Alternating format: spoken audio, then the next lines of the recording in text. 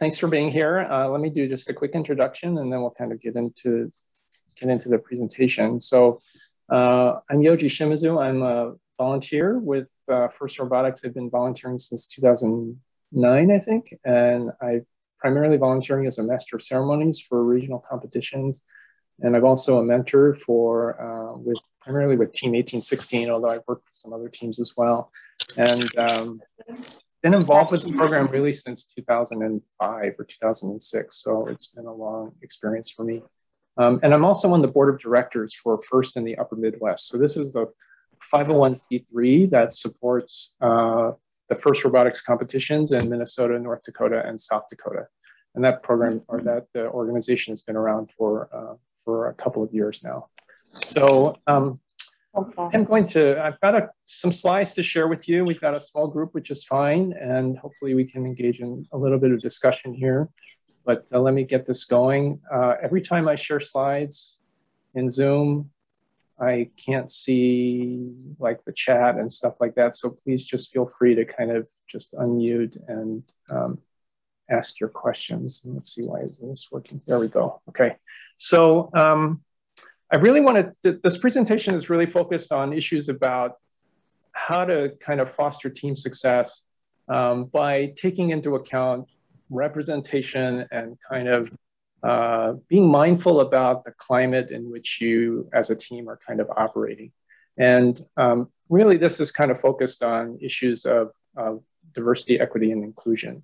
And uh, I know these can be kind of challenging topics to discuss, so I just want to kind of just remind everybody that you know we're here in a safe safe space. We're here to kind of learn, and uh, in order to have a kind of a learning environment here, just to be mindful about respecting each other and being engaged, and of course, always to have in mind gracious professionalism, which is you know a core foundational principle for um, for First Robotics.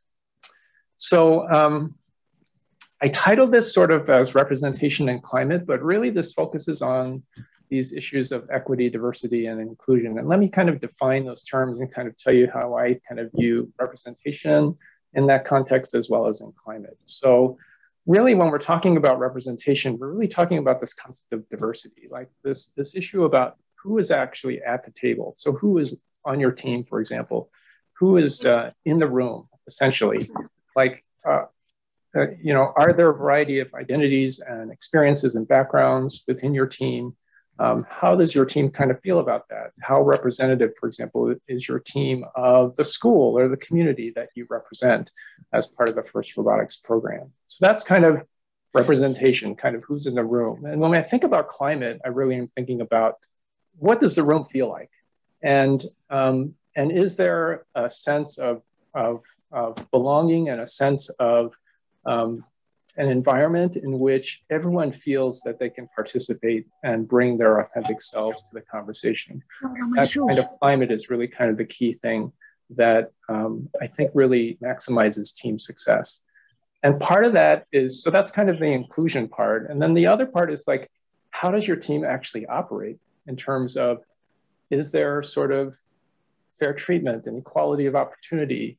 Um, access to information is that shared among all team members kind of act. That's sort of this issue about equity sort of the process by which your team kind of um, moves through time and space. That's really what what we're talking about in terms of climate. So that's part of this whole issue about climate is sort of this culture as well as sort of the processes and policies that are kind of in place within your team and how you operate. So why is this kind of an important topic for first robotics? Like for you know a robotics team why do we even want to think about this? And, and FIRST is really quite interested in this topic, and there are a number of reasons why. And let me kind of uh, maybe start with the first kind of just questions here, which is sort of um, the, I'll stop sharing my screen here for, for a moment. So does anybody have a guess in terms of what the percentage of FIRST robotics competition students and mentors in the state of Minnesota who competed in 2020 how many of them identify as women? What's that percentage, do you think? You can put it in the chat or just kind of speak up since we have a small group here. Any ideas?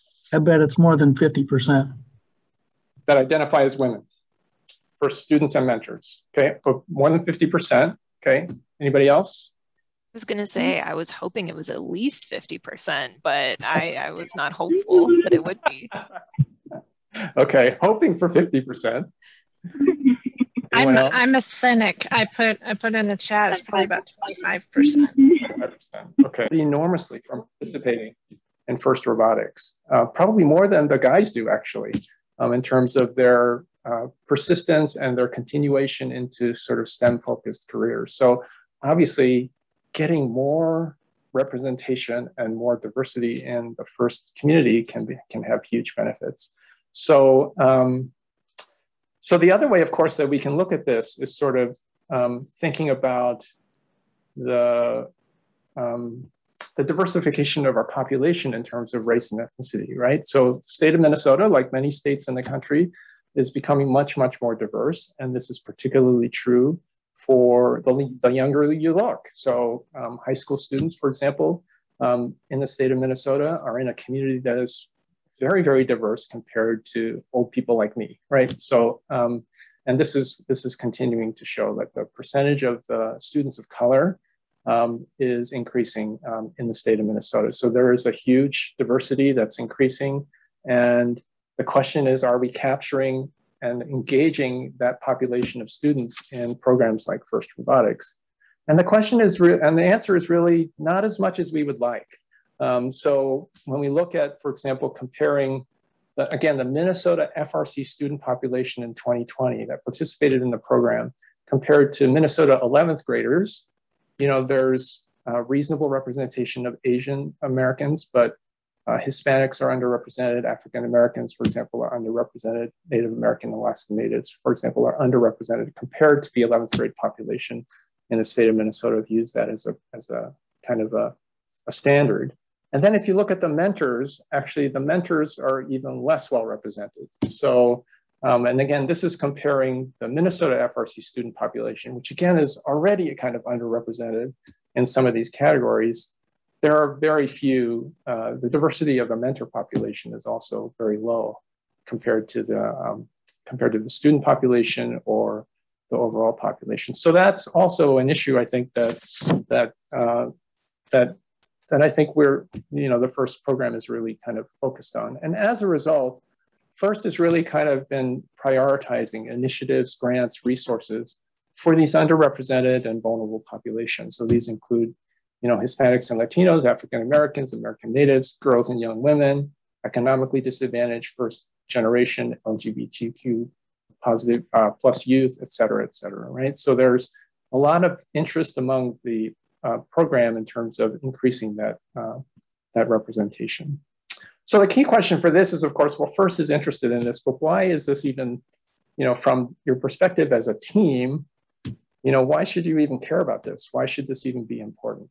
And um, I'm going to show you one video, which I think will hopefully get to this question, and it will be related to the the um, discussion that I think Sean Kelly had um, uh, a couple of weeks ago with about team decision making.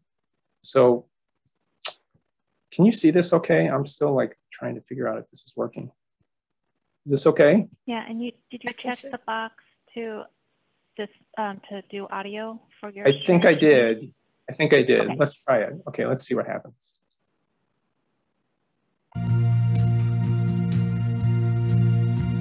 Cognitive diversity consists of things like information, knowledge, heuristics, rules of thumb, causal models, right?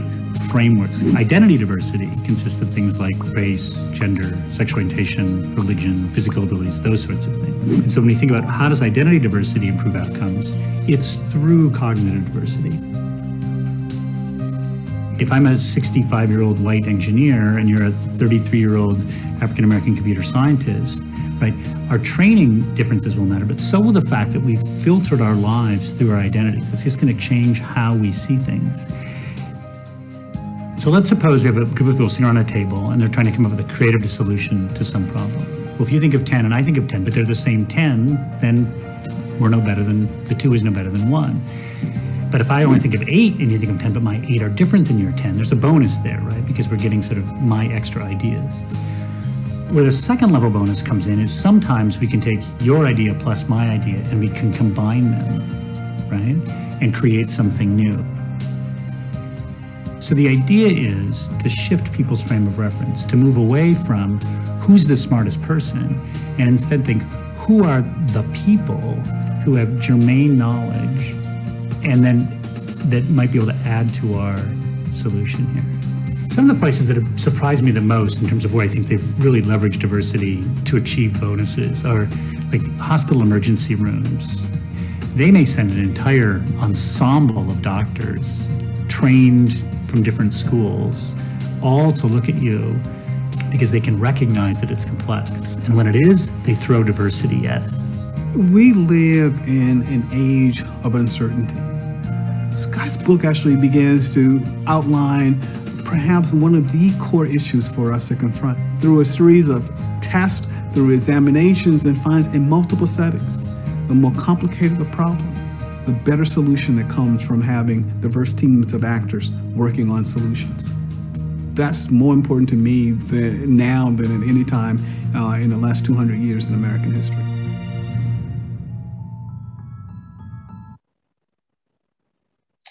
Okay, so that's kind of the the crux of this question about, um, you know, who's at the table, right? And, and from the perspective of FIRST Robotics, what I always think about is when the build season, like when the game is revealed, kind of teams do a lot of brainstorming.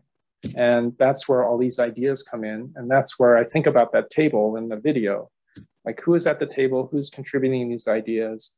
If you have people with different backgrounds and experiences or students with different backgrounds and experiences at that table, the likelihood is that you'll have more creative ideas that come out of that kind of uh, that build process and hopefully more creative and interesting robots that come out, come out of that process as well. So that's kind of um, what we're kind of thinking about here in terms of why that representation could be a benefit to a FIRST robotics team, right? Now, there are lots of examples of kind of impacts negative impacts of not having that kind of representation in STEM. And I'm only going to show you this one article from the New York Times, which talks about artificial intelligence and the fact that we are using artificial intelligence to create self-driving cars, to create uh, robots that will um, replace people in highly dangerous kinds of situations. And the algorithms that are being developed in artificial intelligence, unfortunately, actually aren't working that well. Uh, that you know many of these algorithms actually end up biasing against people of color, and this relates to the fact that most of the people that are developing these artificial intelligence algorithms are white and male, as we've seen with the engineering kind of uh, workforce. So, um, so again, the diversity that's lacking in that room as people are developing these algorithms is impacting the way the algorithms are being developed and um, having kind of these negative effects. And there are many, many other examples that exist in the engineering field as well as in medicine and science that suggest that again this lack of representation can be quite harmful and in many cases actually quite deadly for uh, for uh, people in our community. So um, so that's another reason I think why it's important to kind of be thinking about this. Um, the other reason is that FIRST is also kind of again uh, focused on this. And, and there have been some changes recently that I think teams should kind of be aware of. Um, there's been some discussion over the past year or so through social media about um, instances of students on FIRST robotics teams who have encountered bias and discrimination and harassment in, unfortunately, in our program. So this question about how much are we kind of really thinking about making an inclusive and welcoming and equitable climate is something that, uh, that is on um, certainly on our minds. And then uh, the Chairman's Award, which is you know the highest award that's offered in uh, FIRST Robotics. Um, there is a new kind of executive summary question in that uh, in that award process, which happened last year, where the teams now will need to actually describe efforts in the past three years to promote equity, diversity, and inclusion within your team first and uh, your communities. So again, they're really asking all teams to begin to think about this and think about the impact of uh, representation and climate and kind of what uh, what teams are kind of doing to hopefully address that. Um, the other thing that's become noticeable is that sponsors of FRC teams are also much more interested in this question than they used to be. And there are lots of reasons why sponsors or companies might be interested in this. One is kind of the whole issue of the, the, the workforce is diversifying, right? And so um, future employees of companies are much more diverse than they used to be. And of course, companies need to respond to that and create um, climates that are uh, inclusive and equitable for a more diverse range of employees and give them uh, opportunities to succeed um, in order to kind of grow and develop their workforce.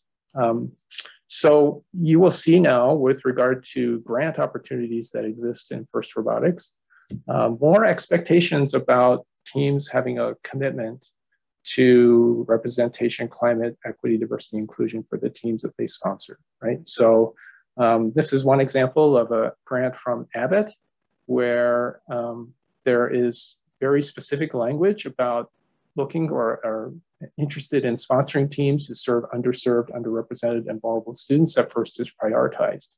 Um, and I think you're going to see more of these kinds of expectations that come from uh, come from uh, companies and sponsors of FRC teams. And, and, I think that's true for Medtronic in terms of their uh, their work with First Robotics moving forward as well. So there are lots of different reasons why this is this is an important topic to consider. Um, and so how can teams kind of begin to kind of work on this and, and focus on this? So um, one is that there are resources available. So uh, FIRST has developed a, a, number of really great uh, online training resources focused on equity, diversity, and inclusion. And um, they've encouraged teams to, uh, all team members and mentors to, to complete that training. Um, and that's freely available online for, for anybody to kind of complete and, uh, and reflect on. Um, it's obviously important to kind of model expected behavior and, and to call out kind of poor behavior. Um, and then when we talk about processes and kind of equity, like how, thinking carefully about all of your team activities, right? For example, how are you actually recruiting students to your program? Um, are you relying specifically on a smaller network of, of connections to bring in students, or are you trying to do a little bit more outreach that goes beyond kind of the, the, uh, the network of people that you know? How are you kind of creating opportunities for students to be successful within your program once they're recruited? And the same is true for mentors. Like, how are you recruiting those mentors? Who are you reaching out to? Um, uh, and uh, what are you doing to kind of support uh, a more diverse array of mentors as well?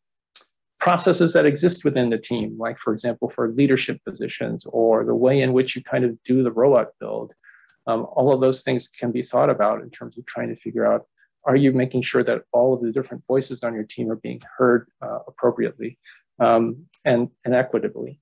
Um, and the overall team climate and the sense of belonging that exists within, uh, within the team. Um, I've noticed this, for example, in, in robot building, for example, this issue about um, introverted individuals versus extroverted individuals. How do you actually engage someone who's maybe more introverted in that build process, which typically is very time intensive and there's a lot of pressure to make decisions quickly. Some individuals don't do as well with that kind of approach. And so, how can you think about ways in which to kind of engage those individuals in, in this really important kind of build process that exists as well? The other one that I'm particularly interested in because I see this all the time as a, as a volunteer is, for example, the most visible um, positions on an FRC team at a competition are the individuals that are actually driving the robot. So the people that we call the drive team. So those are the people that are visible on the field. Everybody sees them, everybody's watching them. And for the most part, I would say they're probably not 27% women on those drive teams at a competition. It's probably less than that. It's mostly guys that, that are kind of driving the robot. So that always is related to me kind of what is the process that any individual team is using to select who gets to be on the drive team. And uh, I've learned, in fact, that different teams are do do different things. Some are sort of like it's just passed on to different team members, kind of from year to year. Um, there's no kind of formal process by which that occurs. Um, I've learned of other teams that have tried to make this a little bit more equitable. They do kind of auditions they actually do kind of a blinding process, which is similar to the way that um, orchestras have recently decided to do processes to select who joins. They put them behind a screen so they don't know if it's a man or a woman. Um, I, I, know of one team in Minnesota who has been trying to do that, where basically they don't know who's driving the robot in the audition to try and uh, uh, eliminate some of the, reduce some of the biases that exist. I think other teams are also trying the process of letting everybody on the team drive the robot, whether they want to or not, because number one, it helps the entire team to understand what it means to drive the robot, what it's like. In the build process, that can be helpful, but it also may allow students who are maybe a little bit more hesitant to say that they are interested in driving the robot to get that chance to do that, right? And I think that's particularly true for girls that they maybe are a little bit more hesitant to kind of think about being involved with something like driving the actual robot and being involved in the game competition. Um, so there are lots of different approaches that can be done, and I think it's important for, for teams to kind of think about how they can potentially do that. Um, as, uh, as a way to kind of make that process a little bit more equitable and give people more of an opportunity to kind of be involved in, in that particular aspect of things. So um, then let me, let me also tell you, I think, about one other way in which I think it could be helpful for teams to, do, to, to kind of begin to talk about this, this issue. So um, this one is, uh, let's see, hold on. Let me see if I can, I'll be able to see you guys. So hold on, I'm turn those off. And then, there we go. I think that'll be a little bit better. There we go. Okay. So um, how do you actually talk about this and kind of make it a, normal part of your uh, conversation on the team. And I want to introduce you to something that I learned from my work at the University of Minnesota. And this comes actually from the College of Science and Engineering. And it's something that they've called a diversity moment. Um, I'm just going to call it here an FRC EDI moment. This comes from their Diversity and Inclusivity Alliance. So in the College of, Science, College of Science and Engineering at the university now, at the start of every meeting, um, they are doing this, what they call a, a diversity moment. So this is like a one or two minute kind of activity, teaching or intervention that's centered specifically on equity, diversity, and inclusion. And the reason they're doing this is really to kind of promote this kind of culture of acceptance and belonging and respect and awareness. Um, to normalize these discussions and the language around equity, diversity, and inclusion to cultivate a receptive environment for conversations that can be quite challenging, um, and to promote an opportunity to do some reflection and, and learning. And it's, again, not meant to cause any kind of emotional trauma or hurt, but it's really designed as an opportunity to kind of reflect and to continue to learn on a continuous basis. And so this can be a variety of different things. It can be sort of sharing current uh, news about uh, some aspect of, of representation and climate. It could be introducing a concept or an historical event or a practice um, creating some space for personal reflection, practicing change, um, and allyship. Um, and at least in the College of Science and Engineering, apparently everybody is, is asked to do this or volunteered to do this um, at a meeting. And then the way in which this, this is done is typically, you know, most of our, our meetings are still kind of in this virtual format. There's a PowerPoint slide that's kind of put together. Um, they present their moment, share their level of familiarity with the concept and with the their level of comfort talking about these topics, and then introduce that topic. It's not necessarily meant to kind of engage actively in kind of discussion, but it's sort of like, here's a, here's a topic, here's my moment, and just ask for you to kind of reflect on that. And then you'd move on to the rest of the topic. So in terms of like a team environment, could be like at a team meeting, or for example, at the beginning of your team meeting, you would have somebody on the team kind of introduce one of these moments. And so I want to show you actually a couple of examples. And these come actually from a colleague of mine, Sandy Olson, who's with, um, with uh, Team 2502, Talon Robotics in Eden Prairie. She put a couple of these together and I put a couple of these together just to give you an example of what these could potentially look like if you were interested in doing this. So this is one of Sandy's slides, which is about the fact that there are all these resources that are that exist in the FIRST community to help you with um, with these discussions. So there's really no need to kind of recreate the wheel. There's this large training resources on equity, diversity, and inclusion. There's training for mentors as well as training for students. And um, it could can seem a little overwhelming in terms of the what's available, but it just it's just a matter of watching a video and beginning to kind of uh, process the information that's presented in that video and beginning to discuss it. So this can be an entryway for our team, for example, to begin to have these kinds of discussions and think about this a little bit more carefully and, uh, and intentional. Right? So that's an example of one kind of um, EDI moment. I'll show you this one. This is one of my examples. So this is, these are pictures of those drive teams that I talked about before. These are the students who are driving the robot. And this is actually from the 2019 Minnesota State High School League robotics tournament. And these are the uh, three, the two alliances, three teams apiece. And they are out here on the field being recognized before the big kind of finals matches. And um, the thing that I noticed about this particular year in 2019 was that there was really good representation of girls on the drive teams of both of these alliances that were competing for the state championship. If you look at this, it's at least 25% on both of these alliances were girls. Very, very unusual, actually. If you look at the year before, in 2018, there were no girls on any of the drive teams for the finalists or the championship alliances for the state championship in robotics. So, you know, this is quite different, quite unusual. And um, the reason it kind of resonates with me is that um, I know that there's someone in the audience watching these events who's thinking, that's a really cool thing that I would love to be able to do. But I don't see any girls involved in robotics, or if they're not really kind of going into the pits and talking to teams, they're going to say, but that doesn't look like something that I could do because it's not very representative of what's, of what's going on. So when you see this kind of happening, um, I think it's important to kind of remember as a team, one of your goals as a team is to kind of inspire other people, particularly younger people, to get involved with robotics and to get excited about STEM. And whether you whether you understand it or not, there's someone in that audience who's looking at these drive teams and saying, "I can do this," or maybe the message is, "I can't do this," right? And so in this case, actually, that representation equates to inspiration for a lot of these younger people that are in that audience watching these competitions.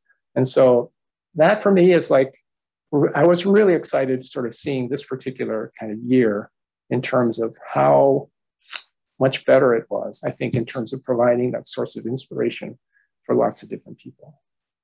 Um, the third example is again, um, social media, for example. Uh, teams do a lot of social media activity. They're on Twitter, they're on Instagram, they're doing lots of different things to try and inspire people through social media with STEM and uh, engineering. And um, it is useful to kind of reflect on exactly what you're promoting and what you're discussing on social media, right? There's a lot of um, hashtags and organizations that have come up over the past year like Black in STEM, First Like a Girl, Diversity in STEM. Um, so think carefully about how you're using social media in terms of promoting STEM and are you promoting representation in STEM and promoting uh, a sense of belonging with uh, social media activities that you use. So that's a third example. Here's the fourth one. This is another one from me. Um, so this one is actually, uh, I'll talk to you about one of my favorite uh, TV shows. So this is from the moon landing in 1969, right? Apollo 11. So for someone of my age, I was eight years old when this happened. It was hugely inspirational to me. Um, but it was, again, if you looked at the astronauts and you looked at kind of the people that were in mission control, all white men, essentially. So at that same time, there was another vision of space travel that was being uh, that I saw, which was actually this one from Star Trek, right? Exact same time, 1967 to 69 was when this show was on the air. And uh, this was a very different vision of, of space travel, right? Much more diverse. There was a person who looked like me, an Asian person. There was a black woman. There was a literal alien on the, on the crew. There was a Russian. It was really kind of an interesting kind of um, uh, difference. And it was a core principle of the Star Trek franchise, actually, that this uh, diversity was really important. And to give you a sense again about the importance of representation and how it can inspire people, um, this is Mae Jemison, who is, I believe, the first African American female astronaut in NASA. And she appeared on a later version of Star Trek. And the reason that she did was she said she was inspired by this representation here. Nichelle Nichols, who was Lieutenant Uhura in the original Star Trek series, she actually went on to recruit for NASA to diversify the astronaut space force in NASA. And what I later learned, in fact, was um, she was thinking about leaving the show after about a year. And she was told, she was asked specifically by Martin Luther King Jr. to stay on the show because it was one of the only representations of Black people in, on television that really reflected kind of who they are and their authentic selves. And so, because of that, actually, she stayed on the show. She became a fixture on that show, and I ultimately ended up to do this kind of recruitment for NASA, which ultimately ended up with people like Mae Jemison becoming part of the astronaut force. So again, this is a historical example of kind of the importance of representation in terms of inspiring people to see a path and see a career that maybe they hadn't thought about before. So that's kind of these EDI moments. These are things that I think teams could do if they were interested in kind of working on this kind of approach to begin to kind of have these kinds of conversations and to think about this as well. So finally, in terms of resources, I think I'm just going to mention the fact that FIRST, again, has lots of these kinds of resources available through their website, firstinspires.org. Um, locally, our First in the Upper Midwest, you know, our 501c3, we have a website called firstuppermidwest.org. We do have a diversity and inclusion committee, and we're always looking for committee members. We have some funding opportunities for teams to kind of uh, begin to work on things that they may be interested in in terms of increasing representation or increasing uh, uh, working on program uh, team climate, for example.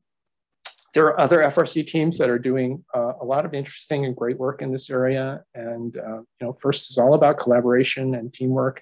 Um, so those are other great resources as well. Your school obviously is another great resource. And there are these other support organizations and affinity groups that exist within the FIRST community, like LGBTQ plus of FIRST and First Ladies, other ones that are kind of national efforts that um, some of our local teams have gotten involved in and engaged with um, that can be helpful as well right? So there's lots of resources out there to kind of be to to work on this and to kind of um, uh, hopefully uh, help your team be more successful as it moves forward with uh, with the upcoming competition season and future seasons as well. And finally, the last kind of resource that I want to mention for you is that um, much of this kind of conversation is really focused on sort of um, you know your team mission and your kind of vision of what you would like your team to be. And ultimately that reflects on sort of your values that exist within your team like what's important to you as a team uh, moving forward. And so um, i have worked with a lot of different teams over the past couple of years on sort of helping them kind of define what, the, what we call kind of the core values. And this is again a kind of a fun, foundational principle within FIRST Robotics to uh, identify what those core values are. So for example, gracious professionalism is kind of a fundamental core value within, uh, within uh, uh the FIRST organization. Um, but uh, we, we've kind of developed a workshop uh, that allows within an hour and a half to two hours for teams to begin to kind of discuss this and think about it. And it is a, a way to kind of uh, promote a common understanding of what kind of team behavior and team climate is supposed is is uh, you're kind of striving for as a team. So, um, so we have worked with a lot of different teams, both in person and virtually. These are kind of pictures of some of the workshops that we've held over the past couple of years. And I will tell you that high school students take this really, really seriously. I mean, I've done this kind of activity with organizations like at the university, and I will tell you that high school students take this much more seriously than some of the other groups that I've worked with. They, they really are thinking a lot about kind of what's important to me, what's important to my team, what kind of environment do I want to be a part of. Um, those are all really important questions for uh, for teenagers, and um, and this is a way for them to kind of engage in that process. So we've worked with all these different teams over the past couple of years, both locally as well as some in other uh, regions of the country, and uh, we know that some teams have also done this independently. So. Uh, we have resources that can allow teams to do that as well. But all of this is on our website. The uh, first at uppermidwest.org, and um, and I encourage you to kind of um, think about this if this is something that you're interested in doing. so that's pretty much it. I think I'm doing pretty well in terms of time. So um, this is my contact information. And if there's, uh, if you have any questions or things that you'd like to talk about, you know, please feel free to reach out and, uh, and, uh, and get in touch with me. So I think with that, I'm going to stop and kind of uh, leave it open for things that people might want to talk about. Yoji, would you bring back up the slide that showed the hashtags for social media? Yeah, of course. Let's see. Um, hold on here. Let's see. This one? Is that the one, Michelle? Uh, yes, that one. Thank you.